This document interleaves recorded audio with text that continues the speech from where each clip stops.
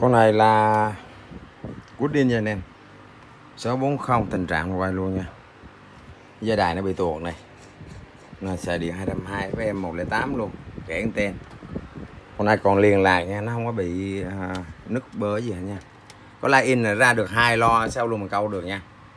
Nó ra được hai cái lo giống vậy này anh em muốn câu câu câu rác kiểu này này đó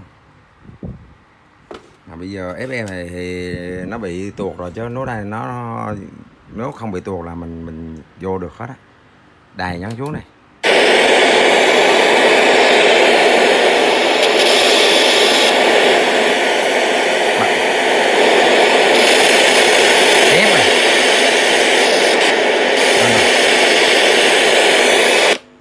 Rồi cassette nha. Cassette thì mình thử thì à, tua qua trái được tua phải không được.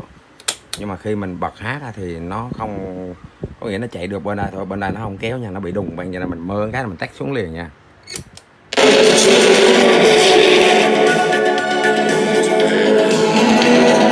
Không nó bị đùng không mình phải tua để cho nó giật lại này. Rồi nghe này. Tiếng nó không to lắm nha.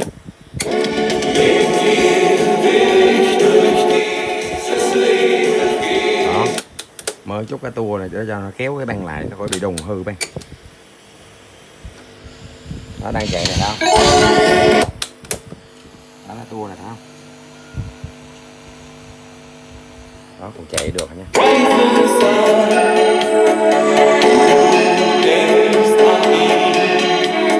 Nó kiểu âm thanh nói nha tiếng còn hay nha này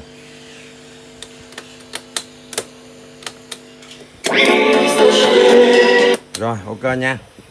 Đó dây đài tuột này.